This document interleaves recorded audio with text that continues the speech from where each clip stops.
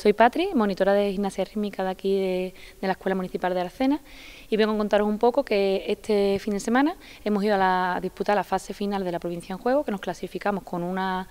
una chica individual de aro, de cadete y un conjunto de cadete de aro. Fueron alrededor de 30 municipios de la provincia de Huelva, hubo unas 123 o 124 actuaciones y logramos con un cuarto puesto que nos dio el pase a una final autonómica de conjunto de gimnasia rítmica que se va a celebrar en Sevilla, en La Rinconada. Será el próximo 27 de mayo y eh, eso vamos a disputar eh, con todas las provincias de, Andalucía, con los conjuntos que se han clasificado en estas fases finales. de la Sierra hemos participado con otros compañeras, como son del Puerto Moral y Santolaya, Santa Bárbara también, pero bueno, ellas no han conseguido clasificarse, pero de igual manera es una experiencia bonita, donde las niñas disfrutan mucho, donde comparten con, con los demás compañeros y se ve reflejado todo el trabajo que hacemos durante todo el año.